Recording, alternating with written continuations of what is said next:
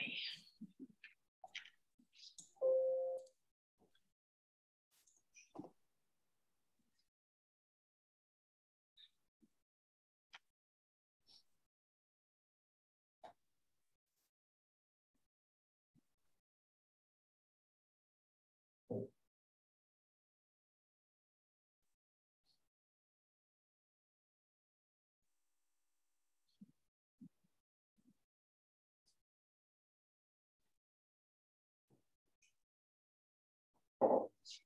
So, have got you seen or heard from Lin recently?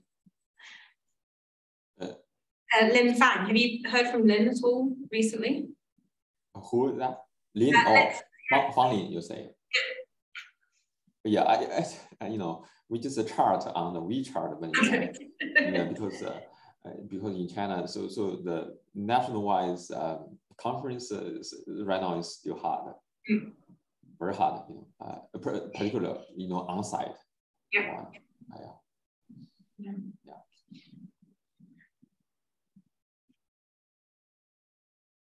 Yeah, she she's doing great. I think that, uh, her institute just uh, becomes the national national one. Yeah, it's like that.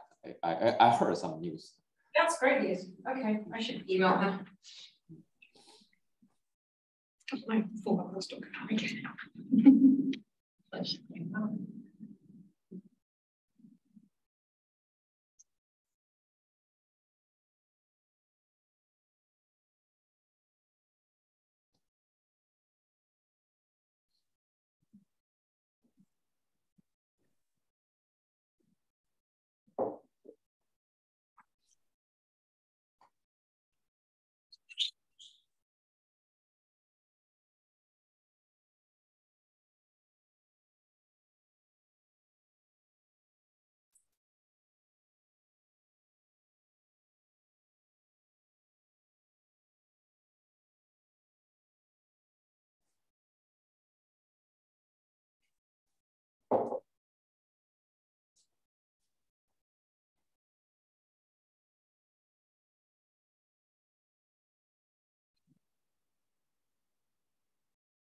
Okay. I should email her. That's gonna come downstairs.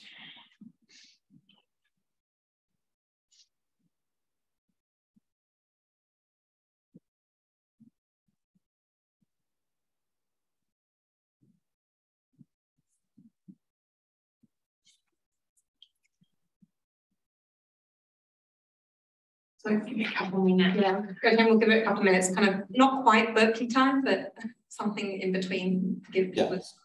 Okay. Yeah. So in Berkeley, even though if you say one o'clock seminar, they never start till ten past. Oh, really? Um, and it's just called Berkeley time.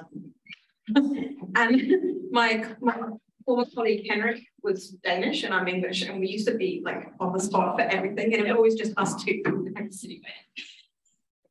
I never got the hang of Berkeley time. Never. Never. Hello.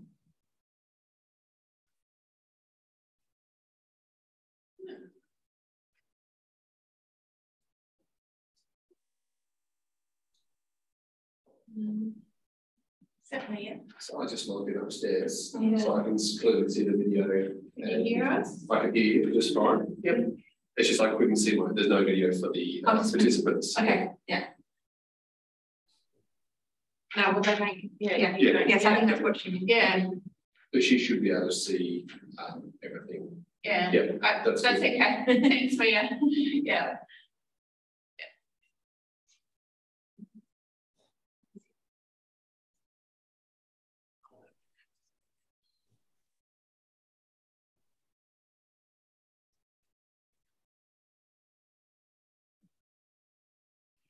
Should we get second screen down here so you can? Answer, yeah, it's slightly awkward that when you present.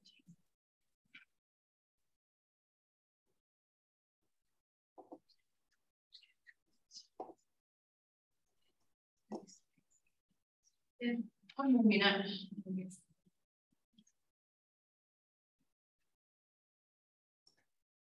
Uh, so uh, Jenny, do you see the the right right screen? I mean the large screen or what? Yeah, yeah, yeah, you put it in presenter, let's see. Is it? Yeah, that's perfect. That's okay. Great.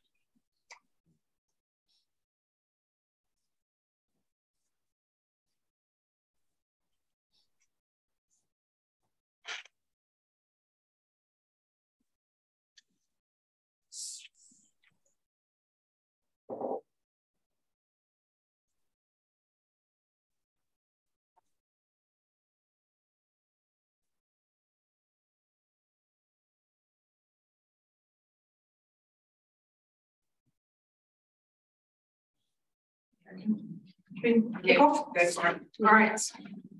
So uh, I want to welcome everyone today to the Wake Research Institute seminar series. And it gives me great pleasure to introduce uh, Professor Guotian Li from Huazhong Agricultural University.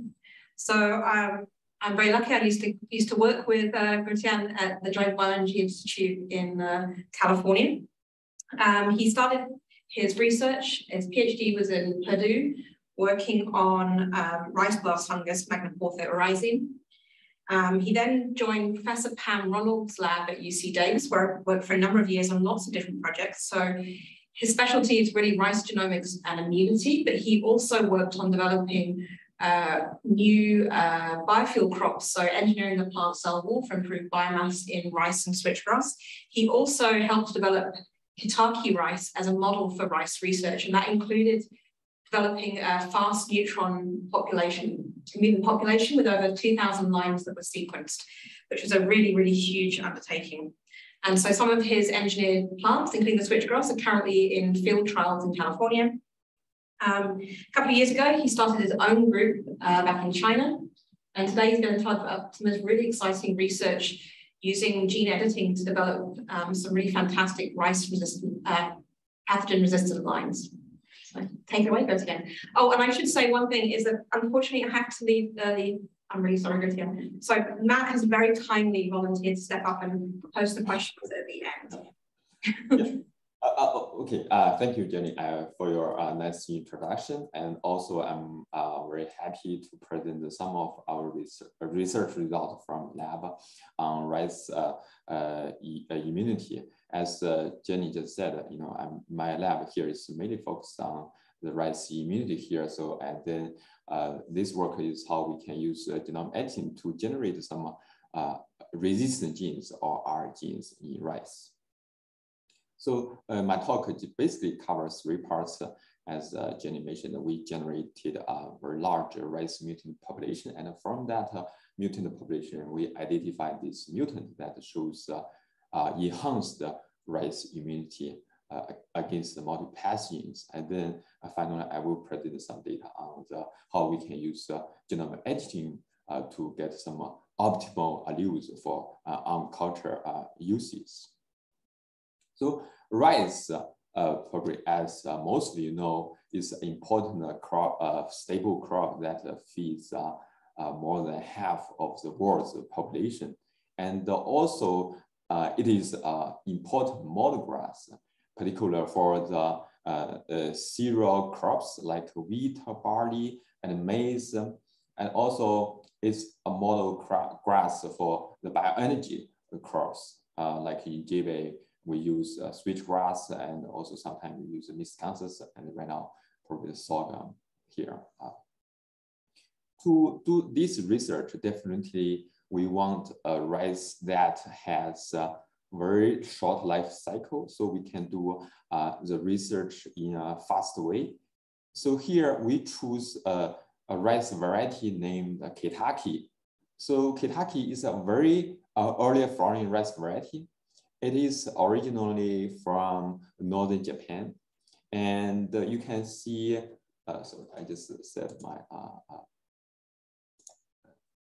so cursor.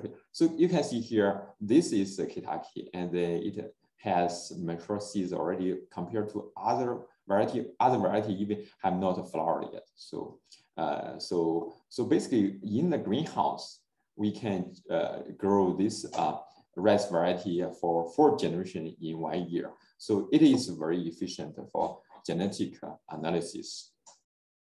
Then to use uh, this uh, rice, uh, rice variety, uh, so we uh, so we uh, whole genome sequenced uh, this uh, Kitaki and then assembled it in a high quality, make it uh, publicly, uh, publicly available uh, to users.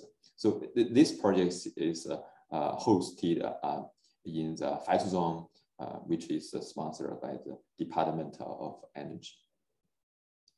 We focus on rice immunity. So we how we can use this uh, Kitaki. So we generated a large uh, uh, mutant collection, use uh, fast neutron irradiation. So basically that is a, a physical uh, uh, approach to, to do the mutagenesis. So from around like 10,000 seeds, we finally got, you know, over 7,000 mutant lines. And then after that, actually we uh, use the whole genome sequence approach to profile all the mutations in this uh, mut uh, uh in this uh, mutant collections, mutant collection. So actually, we find out uh, fast neutron uh, irradiation actually can generate a variety of mutations, like we, we say SBS based that substitute single space substitutions a bit like similar, similar to uh, SNPs and also deletions, insertions, uh, uh, inversion, translocation, and the tandem duplications. So we map uh, all the mutation along the chromosome. You can see focus on the circle B. Basically, that is the mutation distribution along uh, the genome. You can see the genome, the, the mutations actually um, uh, distributed evenly across the genome. So that is one thing, uh, one good thing about this kind of a random mutagenesis.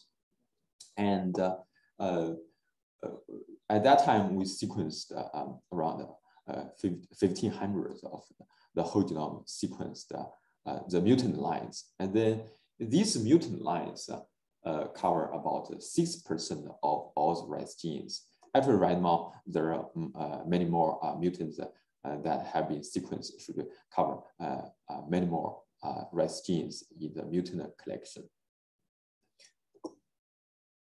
So to, to facilitate to facilitate the, the, the uses, actually, we uh, constructed uh, this uh, online database we named uh, Kitbase, which is hosted at UC Davis. You can see the Kitbase provides lots of information here because it pro, um, provided the sequence data, also the mutation data, and the information. Uh, so people actually can uh, can uh, to order these seeds if they want to use in the basic research. Uh, in my lab in uh, in China, I focus on the rice blast. Rice blast is a, a devastating uh, disease. It is a fungal disease, actually. You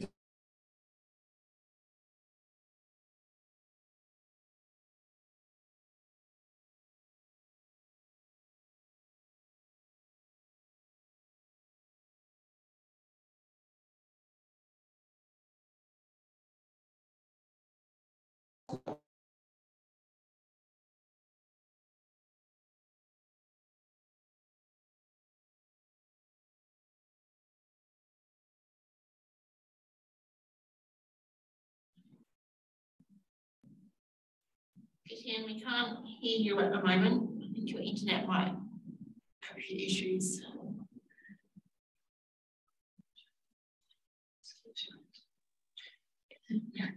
Yeah. Yeah, just for those attending, we're also having trouble seeing and hearing Etienne.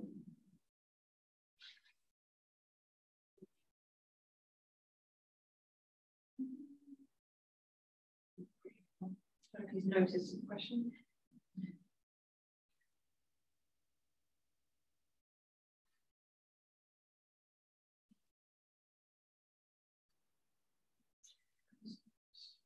Student bank. It does.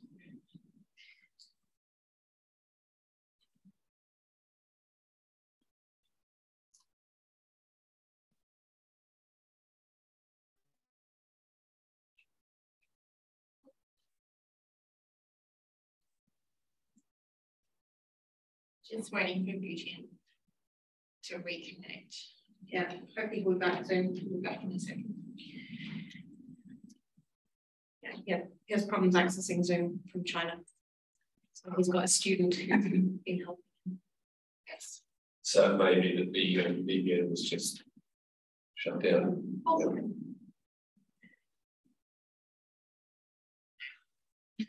Mm-hmm. Right, everyone, we'll give it five minutes and see how we go. It's just starting to get interesting.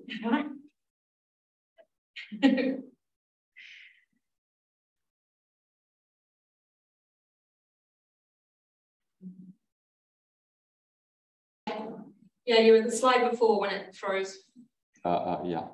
There's the let picture me, of the rice blast in the field. Yeah, let me, let me, let me, let me. Is it right screen? No. Uh, let me. We can see your desktop now. Ah, uh, yeah, I see. Sorry. No worries. All good. Okay, how about right now? Yeah, that's good. Okay, good. Sorry. it's fine, don't worry. Yeah. And then you were on the previous slide when it cut out. Uh, yeah, okay. So yeah, here. So I just uh, repeat a little bit. So here in the middle, uh, so Jenny, please raise, uh, let me know when you cannot hear, uh, hear me, right? Hello, Jenny. There we go. It's all good now. Good. Yeah, go ahead. Okay. So here in, in the middle, after these accessible uh, rice varieties, uh, you can see here, basically they are devastated by the fungal disease on the two sides. Actually, these are resistant rice varieties. So so for, for the rice blast, uh, you know, actually genetic resistance is very important for disease control. And uh, so we think of different ways to clone uh, resistant genes. One resource, resource of the resistant genes are from the lesion mimic mutant. Lesion mimic, lesion mimic mutant uh, basically are, are mutants that uh, show spontaneous mutation even without uh, the challenge uh, from the passenger. So here we identify this mutant, that we name it the RBO1, basically that is resistance to blast. You can see here, actually, the, the, this mutant is resistant to rice blast, which is caused by the fungus Mageposa oryzae. And also it is uh, resistant to bacterial blight caused by the bacteria Desmonas. So this, this mutant shows uh, broad spectrum disease resistant to bacteria and fungal diseases. So, you know, the re, uh, reactive uh, oxygen species is an important factor for the plant immunity. You can see here, when the, the plants are challenged with the chitin, that is one important component of the fungal pathogen, and then the, the mutant just uh, simply uh, simply generate a much higher level of RS. And then these are other control lines you can see. And the, these RS, you can see here. And then during the infection, these RS just uh, restrict the fungal growth in the host. Uh, so actually this green one uh, this uh, green one shows the uh, hyphae of a GLP tagged fungal, fungal screen. So we use the whole genome sequencing approach to, uh, to, clone the, to clone the gene. And then uh, with the whole genome sequencing data, we can easily clone the gene. So the target mutation, we say, uh, is a 20 BP deletion and this 20 BP deletion is, uh, is at exactly at one uh, exon intron junction, uh, junction site. And it results in uh, 90, 19 amino acid truncation. Uh, and then uh, you can see here. To confirm these results, uh, actually we did uh, um, genetic uh, complementation assays uh, you can see here the presence of the uh, RBO1, basically RBO1 gene, basically that indicated by the three bands patterns rescue the lesion formation phenotype, uh, confirm that RB1 is the targeted gene. So we analyze the mutation in detail.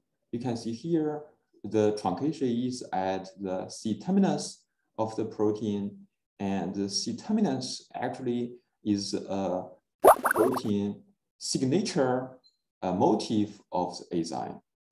So the truncation likely causes loss of function of the RB1.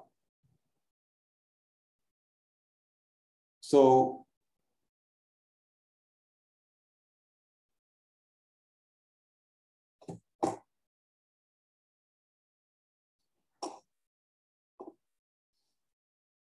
um,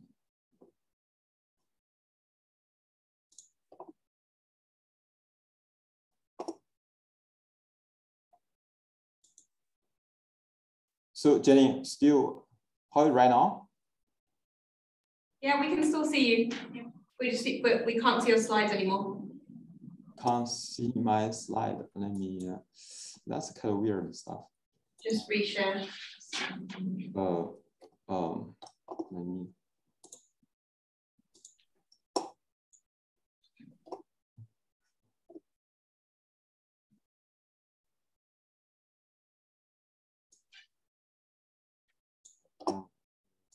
Uh, we so we analyze the mutation in detail, and then um, you can see here the mutation actually at the C terminus of the uh, of the protein, and then and then uh, that uh, C terminus uh, is the signature motif of the of the protein. So basically, likely, most likely, the truncation actually causes a loss of function of the targeted uh, gene. So we, we analyze uh, the function of this gene, of the protein, uh, use uh, is the complementation approach.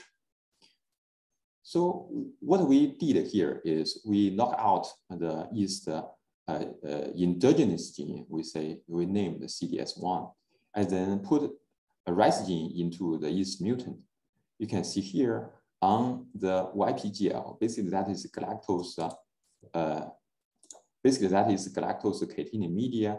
The yeast cell grow pretty well. And uh, so that means uh, uh, are the rice gene is expressed. When when put the cell on the YPD level, on 1PD media, basically that is uh, when the rice gene cannot be expressed, so the cell cannot grow. In the Western blotting, we found out that the rice RB1 protein actually can form a dimer in the yeast cell. You can see here is a dimer and this monomer. And then we used we used the uh, lipidomics approach uh, to analyze the changes changes uh, in the yeast cell. You can see here in the, basically in the mutant line, we can see high, higher levels of PA and also lower level PI and the PG, or these um, uh, phospholipid uh, species. So we go ahead to, uh, to analyze the changes in the in rice. So, so basically here is kind of um, the phospholipid biosynthesis pathways. You can see here is the PA and then PA can uh, uh, can can be converted into DAG and also through uh, RB1 it can convert it into CDP DAG and also uh, uh, from where it can uh, uh, can be converted into PG or PI or these PIPs. We see PI uh, PI3P, PIP2 on this side, probably there are PI3P. So in the rice, in the rice mutant, it has very uh, similar changes to the yeast cell. So basically the P, PA at DAG level are higher in the mutant than in the wild type. And the PI, the PG levels are reduced uh, significantly. Uh, so for this, uh, because the PI downstream PI are PIPs, uh, we so we did uh, some chemical. We try to do some chemical complementation uh, uh, for the mutant.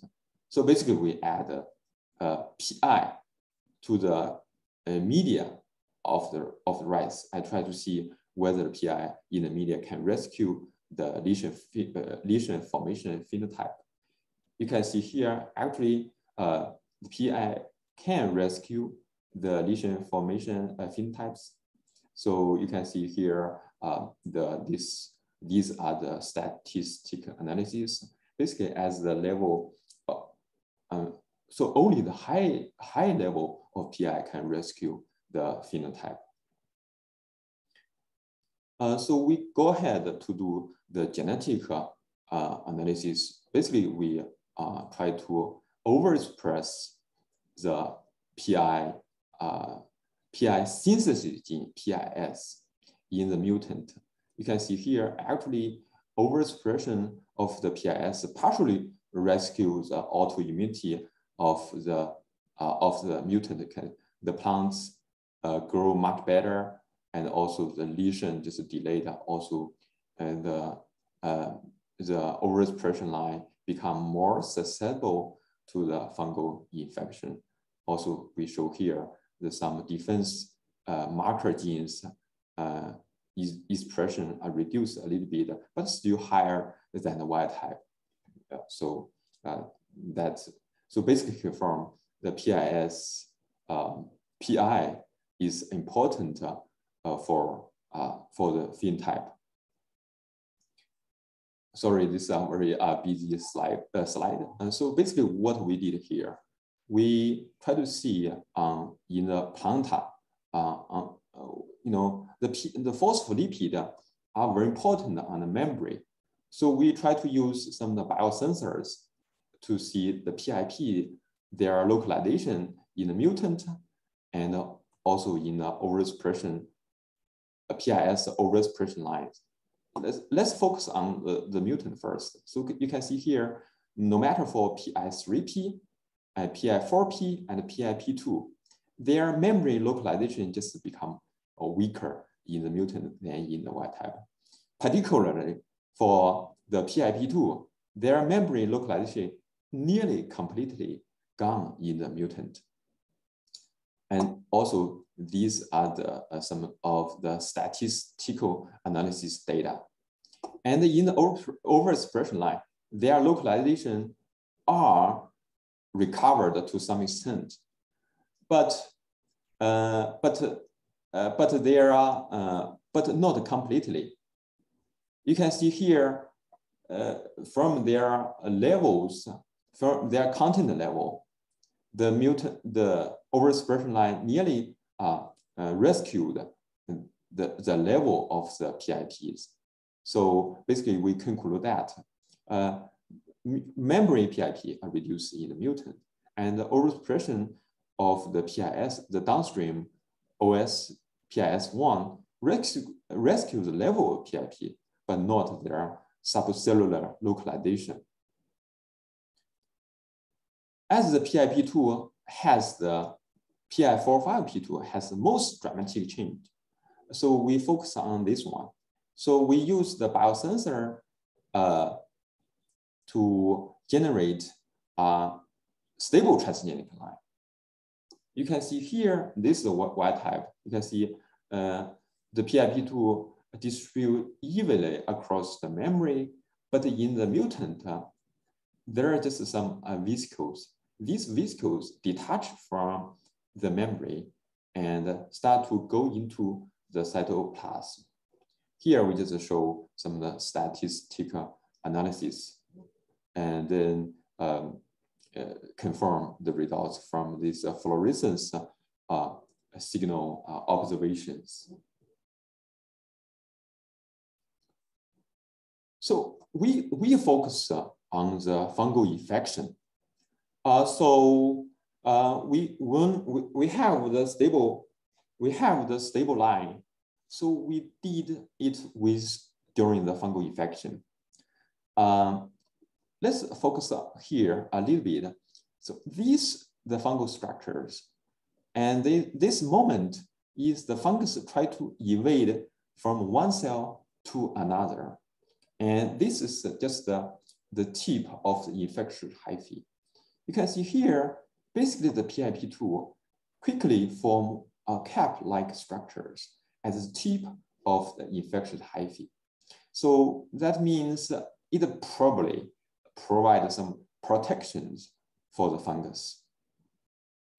And then as the as the infection pro progress, you can see here the you can see here first we focus on the EIHM is basically that is uh, extra invasive invasive hyphae membrane, and then we use um, the red red color to label the fungus. You can see here the the PIP2 just the form seem to be uh, form a layer around the hyphae, basically uh, around the hyphae. It might pro, you know provide some protection uh, functions for the fun, fungal for the fungal infection. Actually, we did a little more uh, because that's uh, our focus of this uh, research. So we focus on the, the beak structure. Beak structure is kind of special infection structure. Its full name is bio, uh, biotrophic interfacial complex. This complex is critical for the effector secretion and the plant infection. So here we still use uh, the red, red color to label the fungal effector. You can see here, uh, the red part is the, uh, the beak structure. And then you can see the PIP2 just co-localize with some of the beak structures. When you enlarge it, is like this. So here you can see this, the PIP2 this basically the fungal effector uh, uh, effector vesicles we see here. So probably from here, if you can see the fungal effector start to go into the rice cell. So from the, uh, the above results, we have some like, we build some model like this.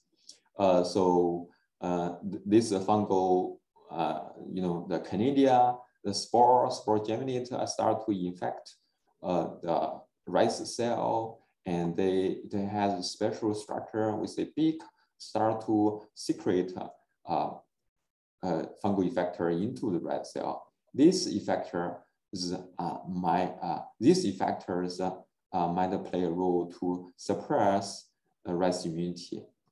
And then the, the RB1, our gene here, it forms some like PIPs um, to protect the fungus. And then also we, I have not talked about, but we have data to show the PA uh, also important for the RS and probably for rice immunity.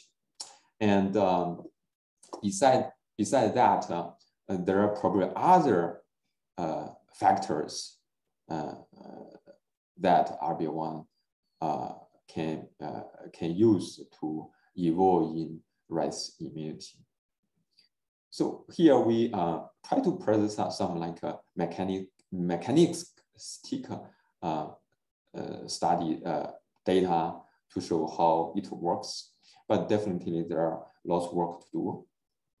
So with this mutant and with this gene, uh, uh, you can I just say uh, stated earlier this mutant actually show very strong broader spectrum disease resistance, but have but it has um, very bad, uh, you know, uh, agronomic traits here. You can see here the seed setting just bad, and also, you know, basically the yield is uh, very minimal in the mutant. So it's it's it's very hard to use this uh, this gene uh, in the uh, rice breeding, and so you know, we we take the take advantage of genome editing approach. Uh, we try to use genome editing to optimize the allele. We use a two-level multiplexing strategies. So basically, these uh, the guide RNA uh, that we possibly can design in the gene.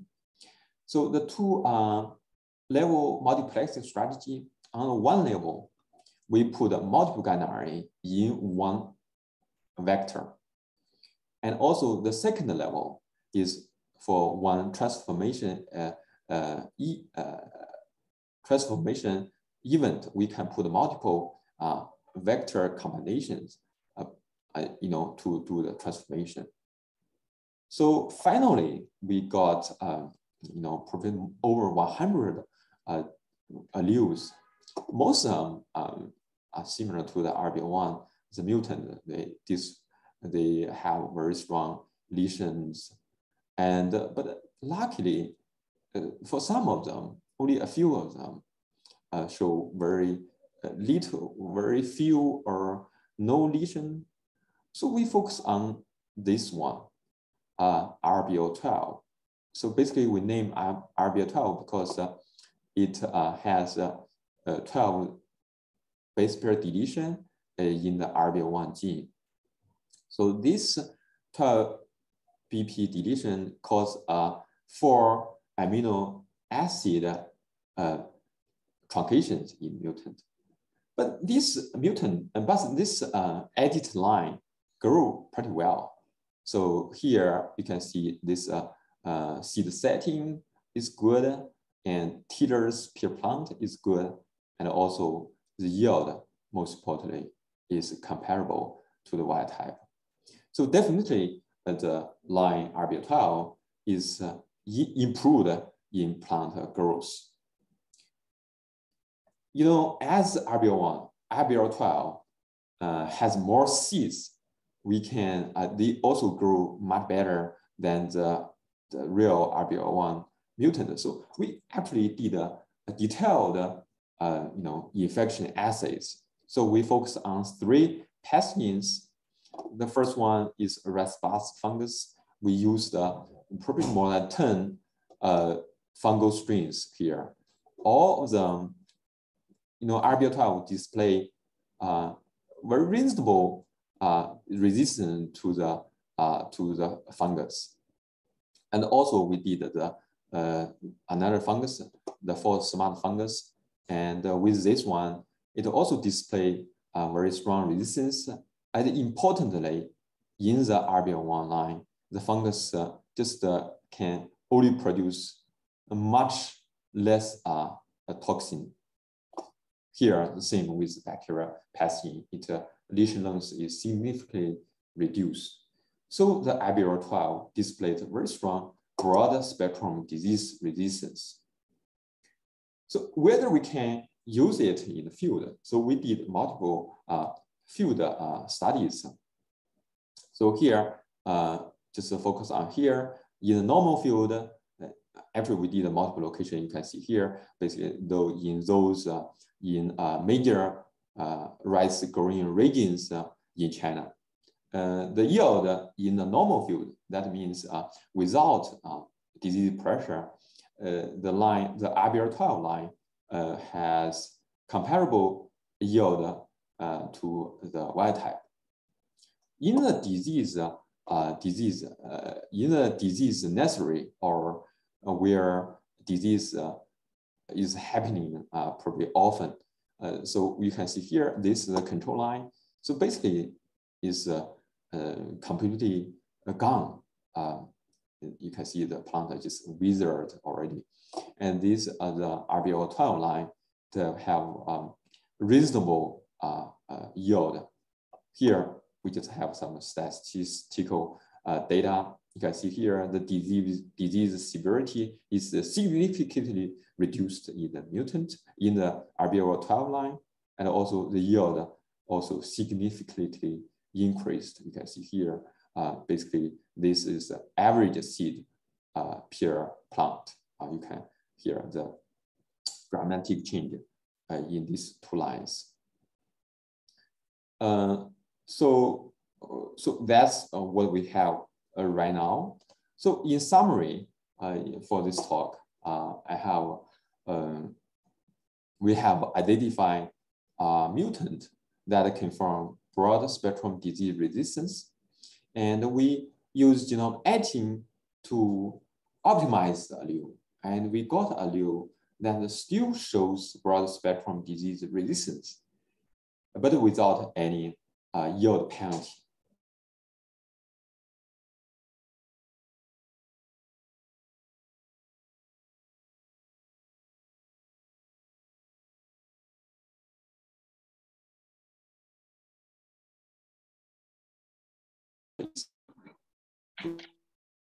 Your um, video is frozen on us. We can still see your screen okay, but we can't hear you.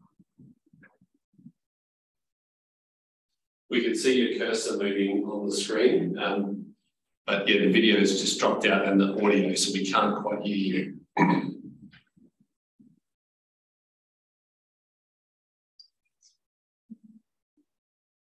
So we can still. Yeah, just see if he. Message is that. So the the the the take home message is um you know probably we think of uh, um, the genome editing as a molecular scissors, right? So most of us uh, think of this way. So basically, the molecular scissors just cut the um, uh, cut the gene, and then we can do the functional analysis, and we can use uh, uh, the genome editing in this way very efficiently and very easily. But as the uh, technology develops, actually we can right now use the technology as a, a molecular carving knife. So basically we can generate very sophisticated patterns, or we can use it to optimize uh, the allele uh, fine-tune gene functions, and also we can do some targeted, uh, basically experimental evolution in plants. Uh, so with that, I think that's all my message. Um, yeah. So I'm happy to take any questions. Um, you know, just uh, you know, just I'm very sorry for the the internet. No no need to apologise. Thank you very much for a really interesting and uh, insightful presentation. Um, and I, I think well, there will be some questions. I think I would like to perhaps start, if I may, and it really relates to that last point that you actually raised. So you, you identified this quite strong allele in the original RBL mutant, which had a, uh, a very strong hypersensitive response potentially.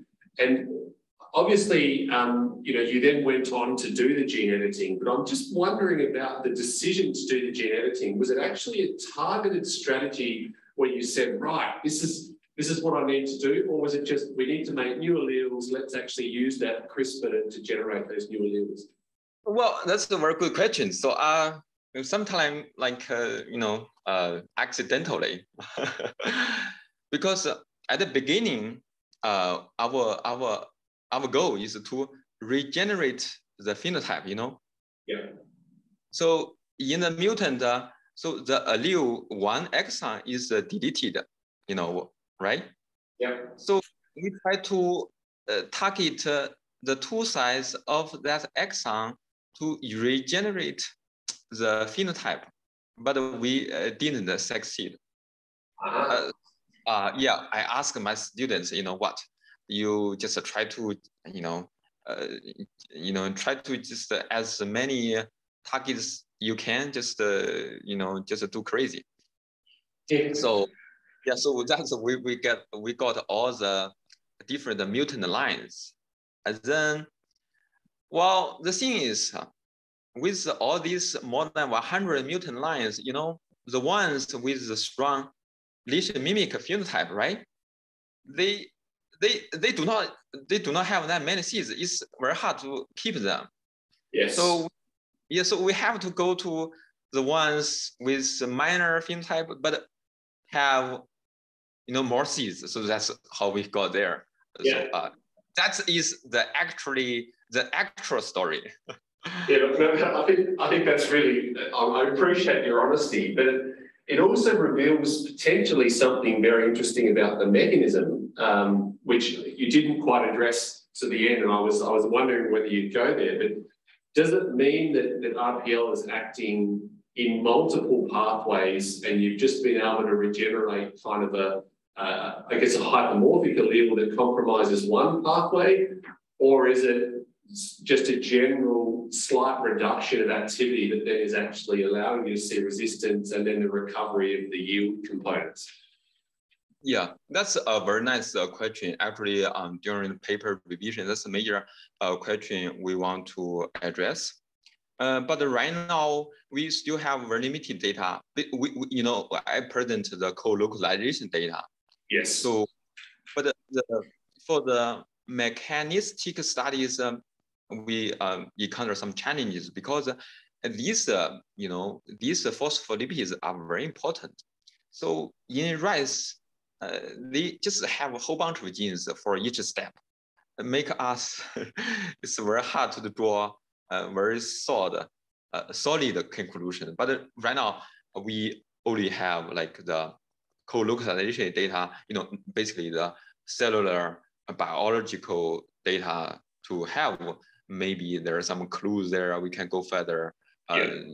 yeah. So right now that is where we are right now because it was it was interesting in your model. You actually had RPL almost as a diversion point. You had the phospholipid component, and then you had the ROS component, uh, which I guess it's hard to know whether they're one and the same or whether they're independent. And whether I suppose you could look at the, the weaker alleles and see whether um, the ROS levels are similarly increased or not, and whether the uh, the localization has changed. Yeah, the we have some uh, have some data. The ROS is still higher in the uh, in the RBL12 allele. Ah, um, yeah, but uh, but the localization uh, is very hard to say. Uh, so on the you know probably there is minor change, but you know from our analysis uh, we cannot see the the the the real difference there. So yeah. uh, because for this uh, phospholipid, the transit uh, you know, the transit uh, changes in the memory or in the effector side probably is the most uh, critical part. Yeah. Unfortunately, uh, that just uh, is very hard to observe, you know, to quant quantify, you know. Yeah, that's it actually leads in very well to the online question, which you may have already answered, but um, Mia has asked the question, can you comment on the effects of the 12 base pair deletion on the protein structure and or property or function? I guess that relates to the RPL12 um, allele, specifically yep. what you think that deletion might be doing. Yeah. Yeah, right. Uh, so we actually have done a lot on RPL12. So we try to use the yeast complementation approach, yeah. Uh, but you can it simply cannot complement uh, the yeast mutant. We know that. And also we cross the IBR12 with the IBR1, the mutant, the, the strong mutant, right? Uh, it cannot uh, complement the original mutant. So we know we know that. And then we use the you know the AlphaFold to predict uh, the structure. And then we find out, you know, the four, four amino acids, uh, uh, the four changed amino acids, actually in one, the alpha helix of the transmembrane alpha helix there. So that's the information we all have uh, right now. Uh, then, um, so basically it seems to be um, it, um, the function of the RBL12 is significantly uh, affected, but not as serious as the RBL1, the mutant. Yeah. Yeah, so we, and also very interesting, the gene, the gene expression of RBL12 just reduce a lot. So we, we have some hypotheses, uh, you know, um, it, uh, it may be, you know, on the the, that 12 BP is around some stable element for the mRNA stability. But all these we need to uh, study further. Excellent. So if, if anyone else has a question online, please raise it. Um, I've perhaps got one more question that I'd like to ask. have you looked at natural diversity in the RBL sequence across um, you know, the, very many sequenced rice genotypes to see how variable the, the gene and or the locus is? Yeah, very uh, excellent question. Uh, so we looked at the um, the population. Uh, we try to find out uh, uh, try to find out a natural allele uh, that uh, affect its expression. Um, but we, we are in the middle of the process. We have not uh, got very nice results yet because in this case, uh, we have to go to the expression level, not just the, the genome level. On the genome level, there seem to be not that many, uh not that many uh, variation there yeah, that, that sounds like a good approach. If you can perhaps modify expression, that might be a target. Mm. Yeah, yeah, very good. Okay, so it looks like we're almost approaching uh, the, the, finish time, and I can't see any more questions online. Um, uh, Mia has uh, raised her hand. I'm not sure if we can hear you, Mia. If you have a question, could you please type it into the box? Um, uh, here we go. She also, oh, it's the same question. Apologies, it's the um, previous question. So, um, thank you very much for taking the time to, to speak to us today, um, Guotian. I think um, Jenny was very excited and we're very uh, thankful that you could spend the time to come and present. And I think for the people listening in, it's a it's a very relevant topic. I think understanding that that Kitaki um, population is is really intriguing and probably could lead to further um, insight for some of our projects, but also to see your use of CRISPR in a quite a different way to perhaps how we typically be using it is, is really nice to hear. So um, thank you very much for your time and um, and hope the rest of the project keeps going well. Yeah, thank you. Thank you. Also, thank you the audience for your time. Thank you very much, everyone. Thank See you. you Thank you. See you. Bye.